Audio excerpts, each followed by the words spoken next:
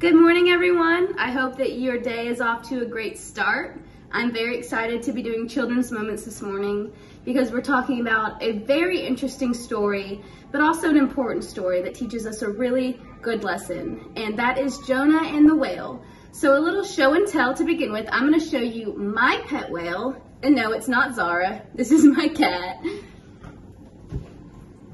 I have my own whale. Just kidding, it's just a fish.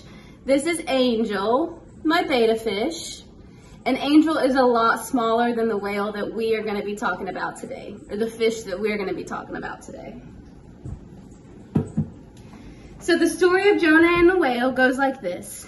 God asked Jonah to go to a city where the people weren't really behaving. They weren't really acting the way that God intended them to act. They were being mean to each other, they were bullying each other.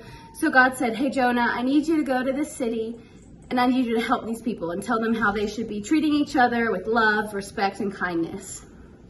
And Jonah said, Huh, I don't really feel like doing that today. So instead, Jonah got on a boat and went the opposite way of where God had intended him to go.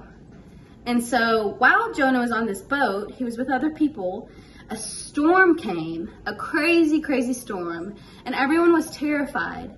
And Jonah said, Huh, I think that maybe God sent this storm because I disobeyed him. So why don't you guys throw me overboard and then the sea will become calm? And so that's exactly what they did.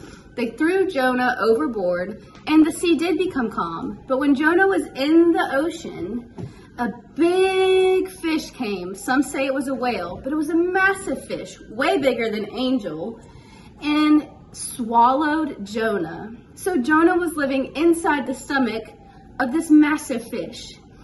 And while he was in the stomach, he prayed to God.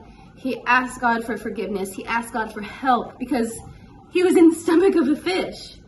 And sure enough, three days later, the fish, the whale, whatever you want to call it, threw Jonah up onto dry land and he was okay again.